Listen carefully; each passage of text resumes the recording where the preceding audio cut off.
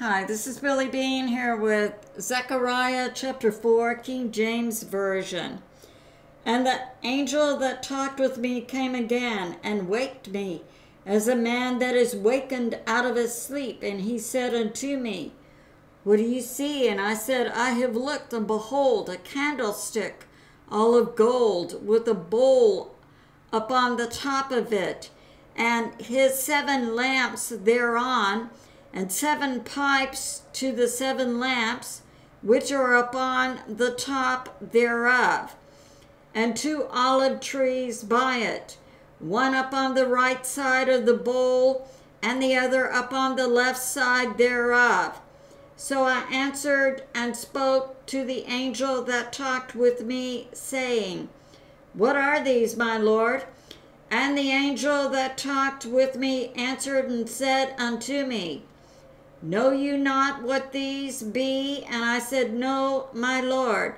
Then he answered and spoke to me, saying, This is the word of the Lord unto Zerubbabel, saying, Not by might nor by power, but by my spirit, says the Lord of hosts.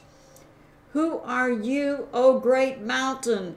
Before Zerubbabel, you shall become a plain and he shall bring forth the headstone thereof with shoutings, crying, Grace, grace unto it.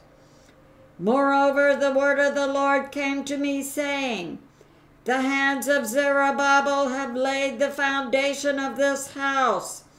His hands shall also finish it. And you shall know that the Lord of hosts has sent me to you.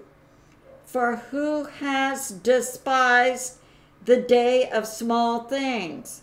For they shall rejoice and shall see the plummet in the hand of Zerubbabel with those seven. They are the eyes of the Lord, which run to and fro through the whole earth. Then answered I and said unto him, what are these two olive trees upon the right side of the candlestick and upon the left side thereof? And I answered again and said unto him, What be these two olive branches which through the two golden pipes empty the golden oil out of themselves? And he answered me and said, Know you not what these be? And I said, No, my Lord. Then said he, These are the two anointed ones that stand by the Lord of the whole earth. Have a blessed day. I love you, and I'll see you soon.